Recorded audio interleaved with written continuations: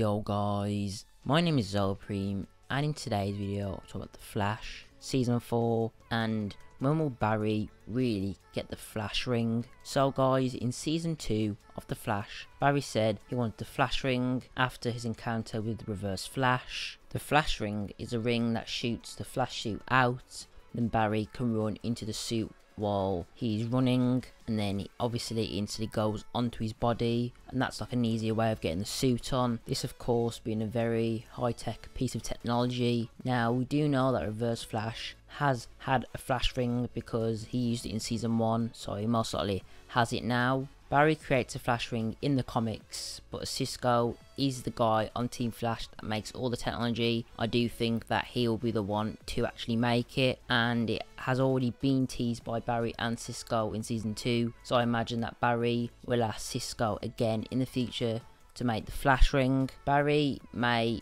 encounter Reverse Flash again in Season 4 and Eobard may tell Cisco how to use the Flash Ring. Of course, this is a long stretch and, you know, unlikely scenario, but it could happen. This Flash Ring will obviously help Barry get into the Flash suit a lot faster as currently he has to run back to Star Labs to get his suit the CGI would be very, very high and it would be a lot to actually do every episode. It'd be very expensive. So that's the only downfall of this actually happening as that actually have to put the CGI in every episode when Barry gets his suit out. As of course, he's the Flash and he needs to get his suit and stop the bad guys every episode. So that's what makes me think that it actually won't happen in season 4. I'm quite certain that in the future Barry will get the Flash ring it's just a matter of time before he gets it, and it will most likely be made by Cisco in the future. So it's not season 4, then it's most likely season 5 or 6, if they do it, of course, because